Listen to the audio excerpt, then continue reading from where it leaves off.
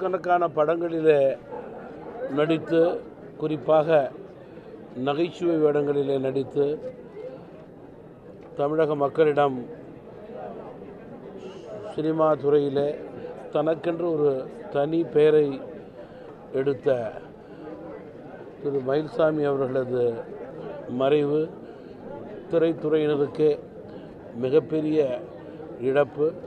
குறிப்பாக அவர்கள் மிக சிறப்பாக நடித்து கொண்டிருந்த காலத்திலே அவருடைய திடீர் மறைவு என்பது மிகுந்த அதிர்ச்சிக்குரிய செய்தியாக வந்திருக்கிறது.